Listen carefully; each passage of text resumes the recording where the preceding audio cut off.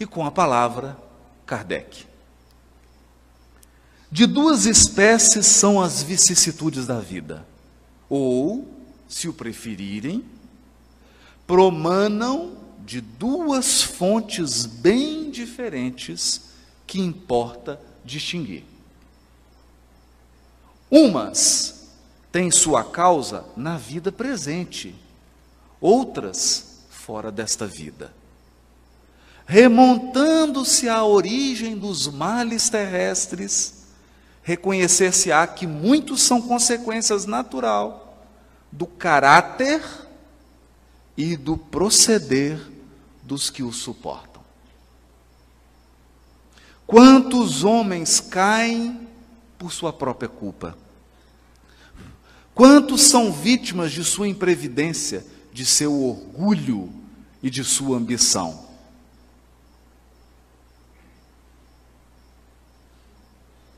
Aqui, colocava Kardec um marco para a nossa reflexão. E por essa razão, o livro dos Espíritos conta com uma terceira parte, que são as leis morais. Isso significa que toda imperfeição gera um sofrimento. Toda deformidade de caráter produz uma aflição. Todo comportamento injusto atrai sofrimento para a nossa vida. Toda deficiência na nossa formação moral trará algum tipo de angústia e de provação. As causas estão na nossa intimidade. E podemos pensar: quanto sofrimento nos traz a impaciência? Quanto sofrimento não nos traz a violência que nós temos dentro de nós? O orgulho, o egoísmo. É assim que nós temos uma página extraordinária do Espírito Emmanuel, que está no livro Religião dos Espíritos. O capítulo chama Examina a própria aflição. Examina a sua própria aflição. E aí diz Emmanuel: a aflição do egoísmo chama-se egolatria, porque ser egoísta dói.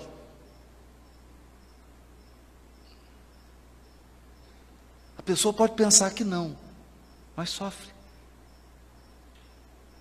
Sofre por quê? Porque a felicidade está em compartilhar, não está em usufruir sozinho.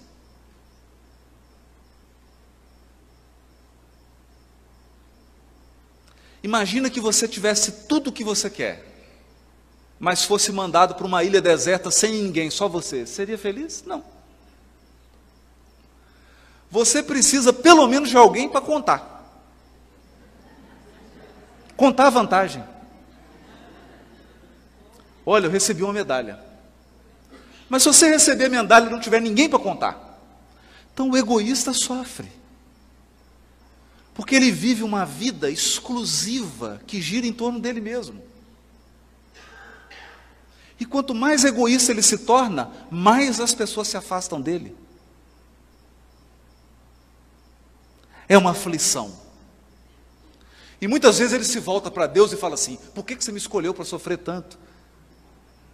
E Deus pergunta com palavras inarticuladas: meu filho, mas por que você é tão egoísta?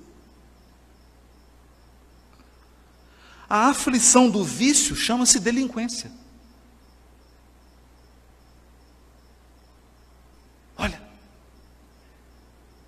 a criatura começa experimentando um pouquinho de droga. Daqui a pouco ela usa mais. Daqui a pouco ela usa mais. Mais, mais, mais. Daqui a pouco ela está roubando para sustentar o vício. É um sofrimento. É um sofrimento.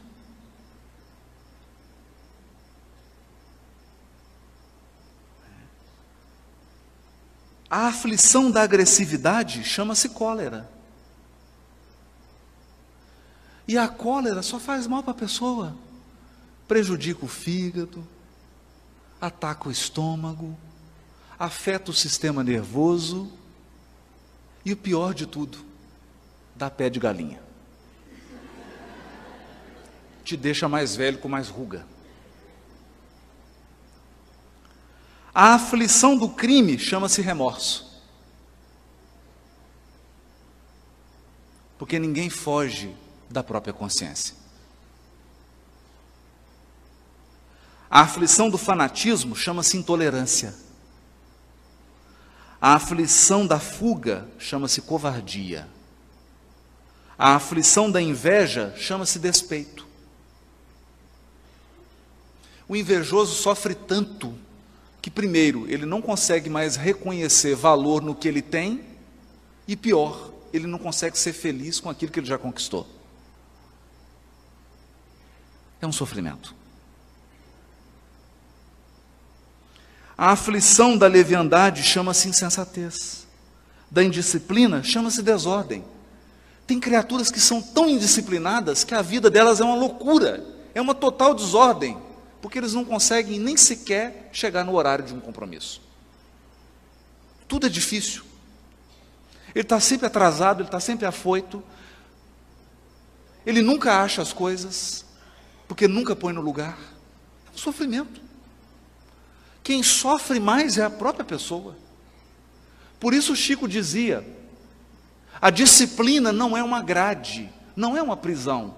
A disciplina é a chave da porta porque você entra e sai quando quiser. A aflição da brutalidade chama-se violência. A aflição da preguiça chama-se rebeldia. Da vaidade chama-se loucura. A aflição do relaxamento chama-se evasiva. A aflição da indiferença chama-se desânimo. A criatura indiferente não se importa com nada. Daqui a pouco ela é tomada por um tédio insuportável porque ela não consegue se importar com as coisas. E nós precisamos de gostar das coisas. Você precisa ter alguma coisa que você goste. Você precisa fazer alguma coisa ou gostar de alguma coisa que você faz. Porque senão você sofrerá do tédio. A vida perde o sentido. Você perde o rumo. É um sofrimento, é uma aflição. A aflição da inutilidade chama-se queixa. Aqui de Emmanuel é duro, porque ele está dizendo: quanto mais inútil uma criatura, mais ela reclama. Quem mais reclama é quem menos faz. Porque quem mais faz não tem tempo de reclamar. A aflição do ciúme chama-se desespero. E aqui nós pensamos: quantas criaturas chegam até mesmo a suicidar por, pelo ciúme? É um sofrimento terrível. A aflição da impaciência chama-se intemperança. Porque quem é impaciente perde a medida. Perde a medida. Exagera em tudo. A aflição da sovinice chama-se miséria. Chama-se miséria. Sovinice é pão duro. Estou traduzindo aqui o Emmanuel. Porque quanto mais sovinice tem uma criatura, mais ela se impõe uma vida de restrição.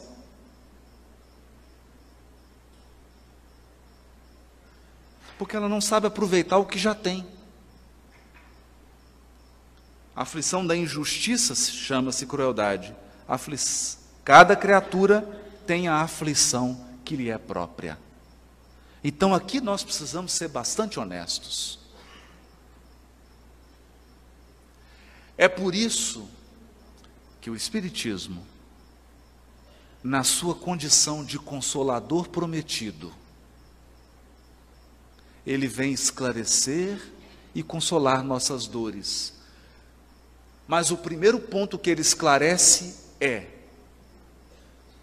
a maior parte dos nossos sofrimentos tem sua causa na vida atual. E tem a ver com o nosso caráter. Por isso, o que propõe o Espiritismo? Terceira parte do Livro dos Espíritos, as leis morais. Propõe uma renovação moral, uma transformação do caráter. Propõe a absorção de valores.